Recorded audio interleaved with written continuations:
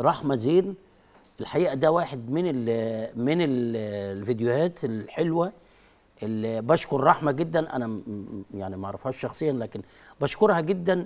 بشكر كمان ال ال ال الأداء الرصين لتوصيل الرسالة. يعني هي ما غلطتش ما قالتش لفظ خارج وقالتها طبعا باللغة الإنجليزية وحضراتكم هتشوفوها دلوقتي. ده موجود مع مراسله السي ان ان على أو قدام المعبر آه، رفح. منتظرين المعونات والادويه تخش في هذا التقل. تعالوا نسمع كده الكلام اللي قالته رحمه زين ونرجع لحضراتكم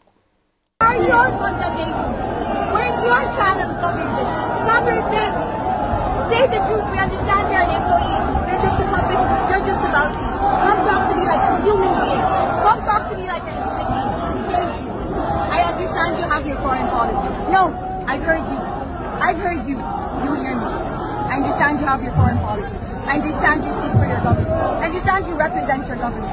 But that being said, you're a country that's playing free speech. Your customized democracy is actually what led to Hamas. And now we are watching an occupation and we are watching the result of your silence.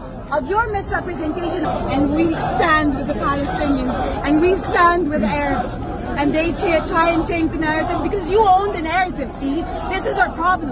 You own the narrative. You own the United Nations. You own Hollywood. You own all these mouthpieces. Where are our voices? Our voices need to be heard as well. We've been watching your channels, and instead of mourning our dead, instead of mourning these Palestinian children, we've been having to